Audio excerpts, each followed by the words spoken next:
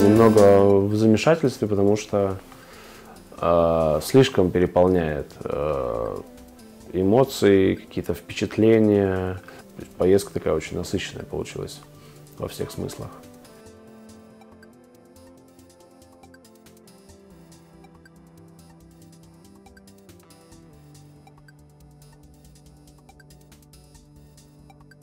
Это, конечно же, когда ты там на коляске и отправляешься в другую страну или куда-то. Миллион вопросов. Ты не знаешь, э, помогут ли тебе, ты не знаешь, доступно ли у них, э, ты не знаешь, э, как бы, не побоятся ли они работать с тобой. Мы говорим как бы о, ну, по сути, активном или даже экстремальном виде спорта. Вот, поэтому, да, было много вопросов, была предварительная переписка, мы обсуждали какие-то моменты, связанные там с медицинским заключением, а, с приездом, еще с чем-то. Но когда мы приехали на следующий день в дайв-клуб, дайв-центр, Ильяс, э, все было максимально дружелюбно. А, и мне понравилось, что все было максимально оперативно. Потому что задача изначально была именно прохождение курса, а не просто как бы приехать по понырять.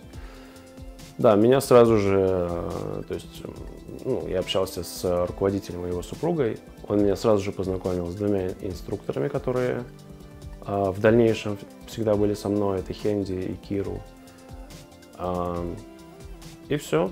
Дальше мы уже там занимались а, бумагами, брифингами, обучением.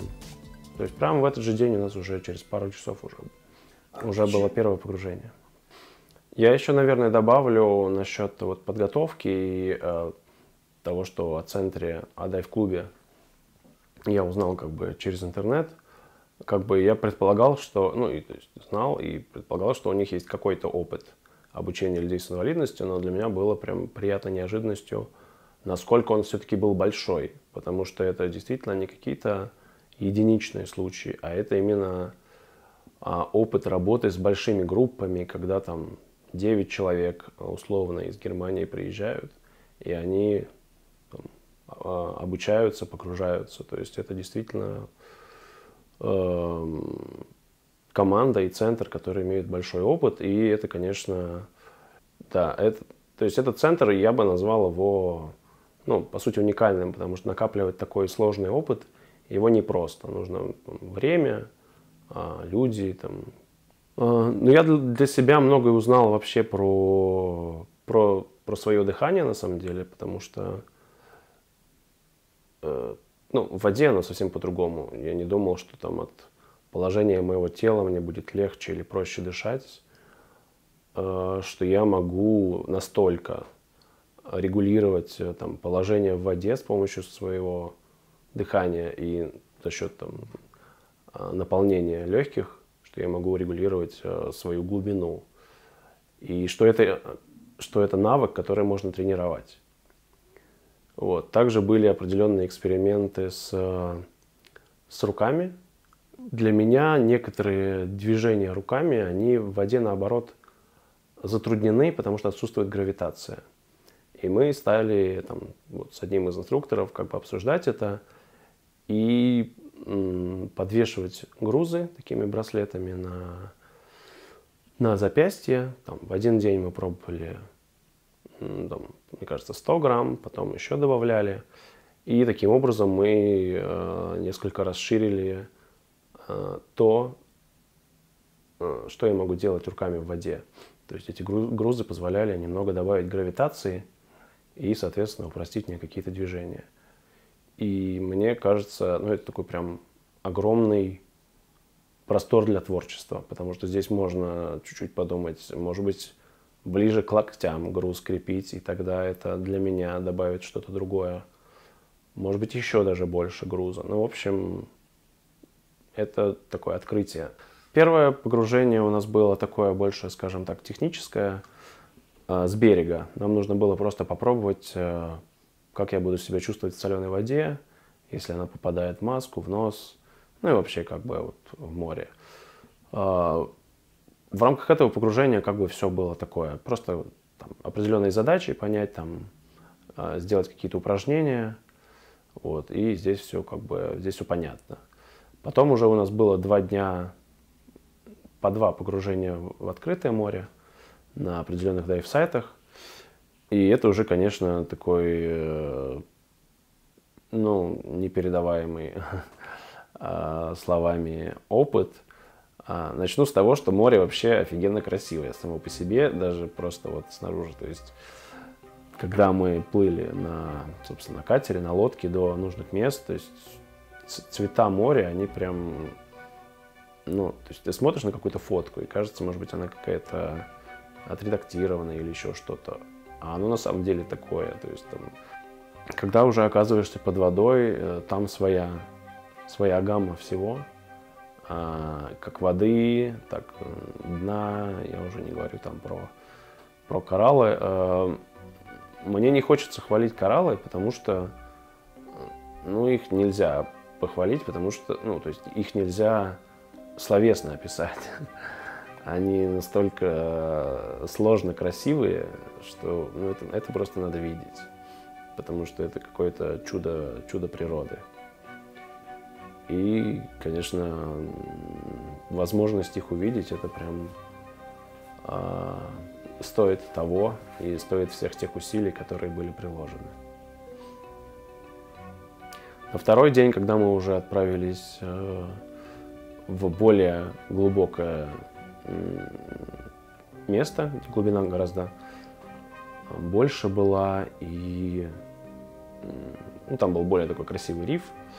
Когда я только опустил э, голову, ну, собственно, в маске под воду, первая мысль, которая мне пришла, это просто «О май гад!»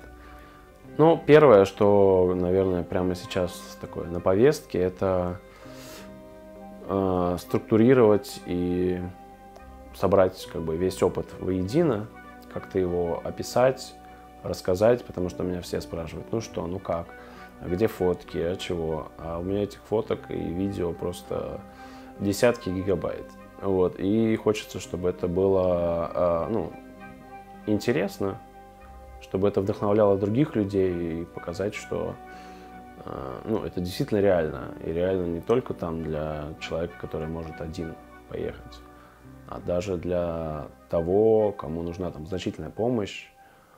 Думал про Таиланд, но это то, что я слышал. Конечно, это все требует э, изучения, подготовки.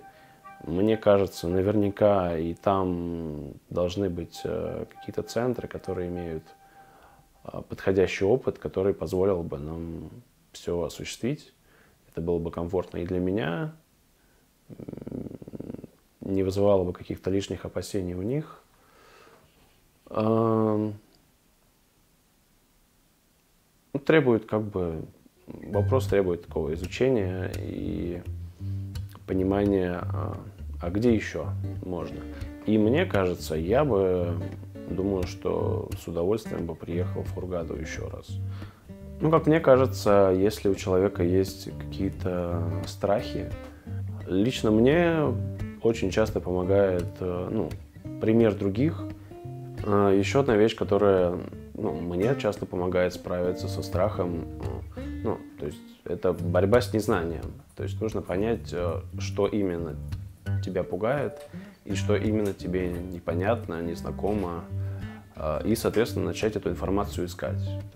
Если мы, допустим, возьмем пример с тем же э, дайвингом в Египте на Красном море, можно посмотреть, какие на YouTube есть ролики на эту тему, какие дайверы с инвалидностью ныряли и как ныряют.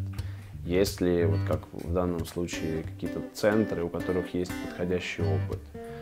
Можно поизучать, посмотреть, какие есть отели, в которых э, будет комфортно гостю на инвалидной коляске. Поизучать, э, как, как добраться от аэропорта до отеля. В принципе, через все этапы я и проходил. То есть э, также у меня был поиск э, адаптированного такси, мне кажется, одно единственное, которое есть в Фургаде, я и нашел. Да, мне кажется, э, ну, то есть, с одной стороны, я вдохновлялся какими-то примерами, которые я находил. С другой стороны, я не видел именно вот условно пример человека, который, э, ну, как мне кажется, условно в такой же физической форме, как я. И в этом плане я чувствовал э, такую ответственность первопроходца. То есть было что-то сложновато, но это был такой вызов или э, челлендж, как можно было бы сказать, э, действительно прорубить эту дорогу и вызов для меня, то есть как бы, что я смог справиться, и также показать другим, что вот действительно это возможно. Пожелать каждому, кто когда-либо задумывается о каких-то интересных путешествиях, не бояться и в первую очередь искать возможности, потому что а, барьеров и каких-то ограничений э, в голове и не в голове хватает. А вот чтобы найти какие-то возможности, это всегда определенная работа и определенные усилия. И я призываю никого не бояться искать эти возможности, а также помнить, что на свете полно людей, которые готовы вам помочь. А, иногда они даже сами, сами об этом не знают. Поэтому можно смело экспериментировать и пробовать.